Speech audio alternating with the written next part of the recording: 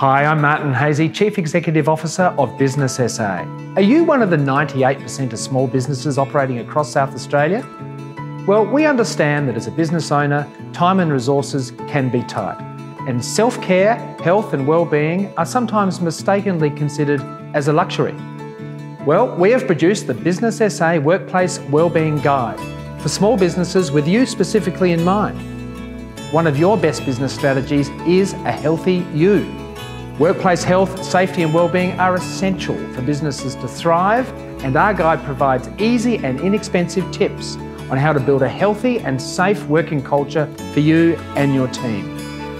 To get your copy of the Workplace Wellbeing Guide for Small Business, visit our webpage at www.business-sa.com or drop into the small business shopfront at 99 Gawler Place, Adelaide.